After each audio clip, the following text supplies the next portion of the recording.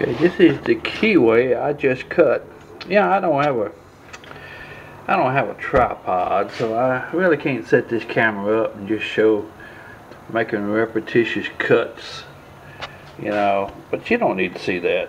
What you need to see is the the actual device that, that holds the shaft here. And, you know, it was it was run in I don't know if I can do this or not. Uh, okay. It's in here, you know, crank it out, turn the machine on, you know, and cut the keyway.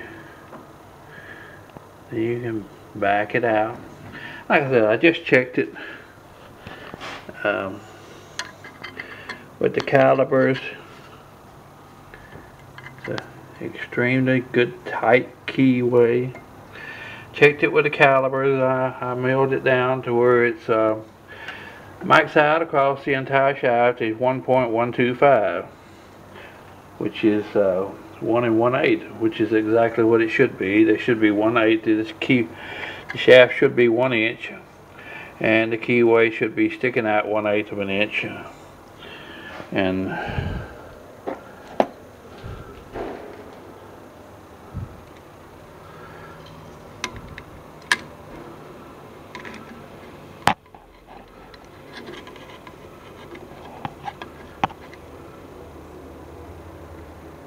Uh, bouncing around, one, two, one, three, five. Hmm.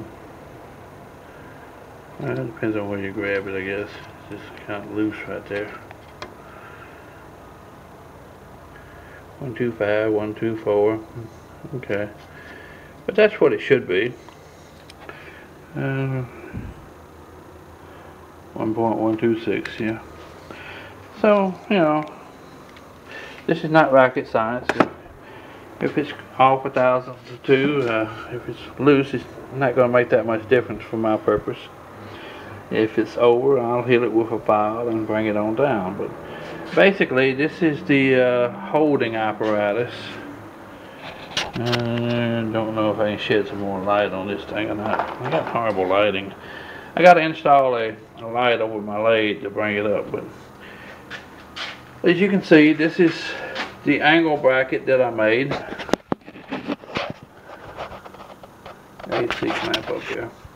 There's the angle bracket with the angle welded to the side of it. And it holds the shaft in perfect uh, alignment because it was set using the uh, the center points from the center here to the center of the tailstock. So that, that was dead center. And this was positioned there and tack welded. And then I took it off and welded it.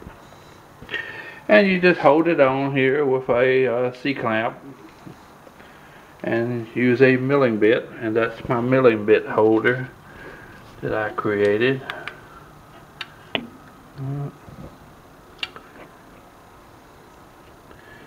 Yep, and that's a one quarter milling bit. And the thread's not going to show up. It's a pretty sorry camera, but can't do anything more. So anyway, there it is. Key to shaft. Uh, inlaid. Have fun.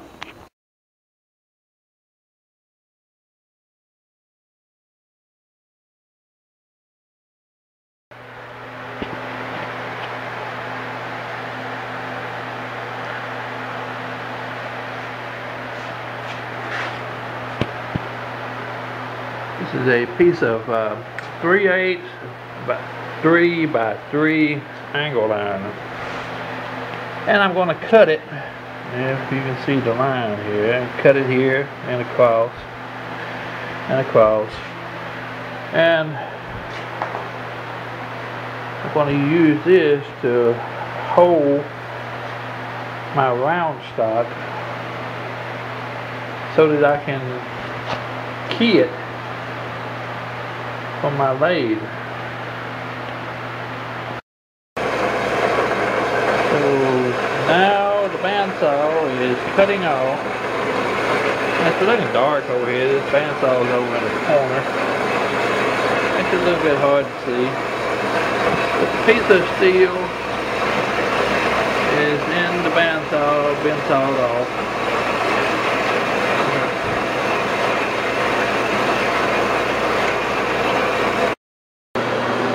Alright, I went out in the scrap pile to find some angle and this looks like it'll work just fine. This is some inch and a quarter by a quarter uh, angle line. And I'm going to cut it off uh, maybe an inch or two inches longer than the uh, than the uh, other piece of angle. we'll get to that in a second. Okay, I'm not too concerned about dimensions on this thing, so I'm not really measuring it because it's not important. I'm just going to kind of, it's a little longer here, so I'm just going to make it a little bit longer here. And that should do it. The big angle is going to clamp into the tool holder. But if you notice it sticks out way too far.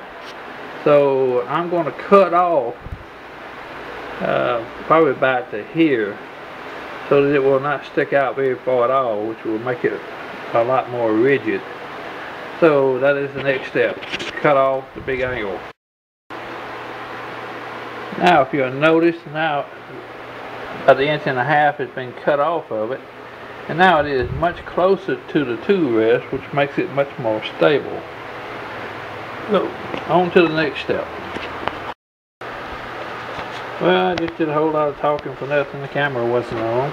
But anyway you can see that I have mounted the shaft in the lathe. I have squared the end of the shaft up.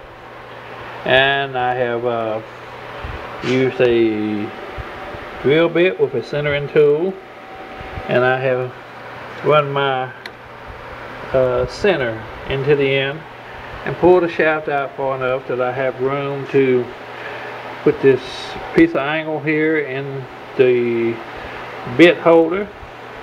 And this angle here is just set in here but with just run out up against it it's holding it secure and it has to be lined up on center because the shaft is on center. So now I will come back and we'll clamp it to the to the piece with the shaft in it so it can't move. And I will weld it right here. And I will weld it on the other side right here. And then I will remove it put it in the drill press and drill three or four holes, pretty good sized holes that I can weld through. And I will avoid welding it here or on the bottom side so that it will not draw. Now, this is not my idea. I got this from Tubalcain, uh, Mr. Pete. Uh, and it looked like a winner to me. So thanks Mr. Pete and this is my attempt at making it. uh, for everybody that could not find the video and I don't think I've been able to find it since, well this is my video of uh, making a shaft holder so that I can mill keyways and shafts. Thanks for watching.